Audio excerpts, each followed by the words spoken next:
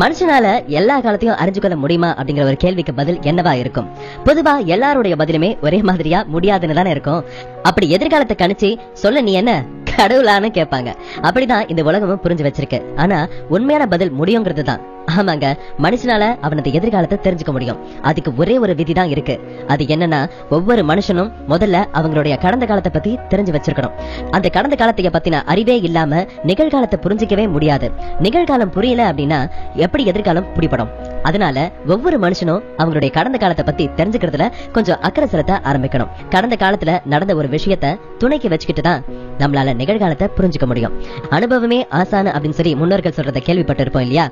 ஒரு காலத்துல நமக்கு நடந்த பிரச்சனைகள் திரும்பவும் நடக்காதுங்கிறது மாதிரி எப்படி நிச்சயம் இல்லையோ அப்படி நடக்கும் பொழுது நமக்கு இருக்கிற முன் அனுபவத்தை வச்சு நம்மளால அந்த பிரச்சனையில இருந்து ஈஸியா வெளியே வர முடியும். அந்த அனுபவம் அப்படிங்கிறது தான் வரலாறு. பூமி தொடக்கத்துல எப்படி இருந்துச்சு? அது என்னவா இருந்து இப்ப நாம வாழற பூமியா மாறுச்சு? பூமிய போல வேற எங்கேயோ மனுஷங்கள் வாழ முடியுமா? பூமி உருண்டையா தட்டையா? அப்படி இல்லைன்னா கோல வடிவமா? சூரியன் எப்ப தோன்றுச்சு? பூமி ஏன் சூரியனை சுத்துது. நிலா ஏன் பூமியை சுத்துது. இப்படி நம்ம மனசுக்குள்ள இருக்கிற ஆயிரக்கணக்கான கேள்விகளுக்கு விடைய நம்ம இன்னைக்கு தெரிஞ்சுக்க போறோம். பிக் பேங் தியரி இந்த பூமியும் மனுஷனும் ஒண்ணுதான். ரொம்ப ஆர்ப்பாட்டமாவும் அதிரடியாவும் ஆரம்பிக்கிற மனுஷங்களுடைய வாழ்க்கை போக போக நிறைய அனுபவங்களை சந்திச்சு அது மூலமா நிதானத்தை கத்துக்கிட்டு எப்படி அமைதி பாதைக்கு வந்து சேருது. அதே மாதிரிதான் இந்த பூமியும் ஆரம்பத்துல பூமி வெறும் நெருப்பு கோலமா சூரியன் கிட்ட இருந்து பிரிஞ்சு வந்துச்சு. பூமி முழுக்க வெறும் வாயும் நெருப்பும் தான் நிறைஞ்சு கிடந்துச்சு. படிப்படியா குளிர்ந்து இறுதியா இறுகி உறுதியா மாறுச்சு.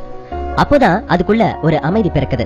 இப்போ கடல் மலை காடு அப்படின்னு படிப்படியா உருவாகி பூமி பார்க்க பசுமையா ஆயிடுச்சு. இப்ப நாம வாழுற பூமியா மாறி போச்சு ஆனா அதுக்கு முன்னாடி அதாவது கிட்டத்தட்ட ஆயிரத்தி நானூறு கோடி ஆண்டுகளுக்கு முன்னாடி இருந்த பூமிக்கு ஒரு ரவுண்டு போலாமாங்க.